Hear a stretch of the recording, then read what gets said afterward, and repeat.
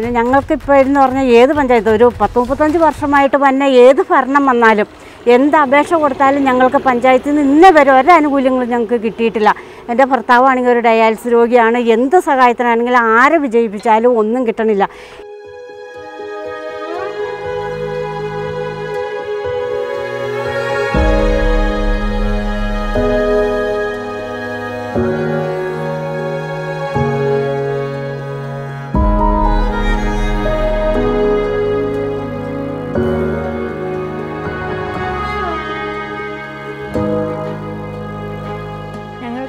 രാഷ്ട്രീയ പാർട്ടികളെ കൊണ്ടുള്ള എന്താ പറയുക അതിന്? അവർ മാറി മാറി വന്ന് നാട് ഭരിച്ച് കുട്ടിച്ചോറാക്കിയെന്ന് തന്നെ പറയേണ്ടി വരും.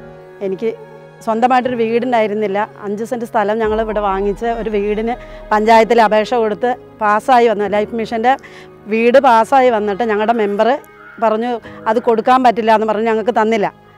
വില്ലേജ് ഓഫീസിലും പഞ്ചായത്തിലും എല്ലാം നോട്ടീസ് ബോർഡിലും ഉൾപ്പെടെ എന്റെ പേരും പേരയ്ക്ക് അനുവദിച്ച് വന്നിട്ട് അവരെനിക്ക് തന്നില്ല. കാരണം അന്വേഷിച്ചപ്പോൾ അവർ പറഞ്ഞു പാർട്ടിയിലില്ലാത്തത് കൊണ്ട് കൊടുക്കാൻ പാടില്ല എന്നാണ് അവർ പറഞ്ഞത്. ഞാൻ കോൺഗ്രസ്സുകാരനാണ്. ഒന്നാന്തര എഫക്റ്റീവ് മെമ്പറായിട്ട് പ്രവർത്തിച്ചുകൊണ്ടിരുന്ന ഒരു കോൺഗ്രസ്സുകാരൻ പോലും ഞങ്ങളുടെ വീടുകളുടെ ഭവനങ്ങൾ സന്ദർശിച്ചിട്ടില്ല ഈ കാലഘട്ടത്തിൽ അപ്പം ഞങ്ങൾക്കൊക്കെ ഇവിടെ ജീവിക്കണം.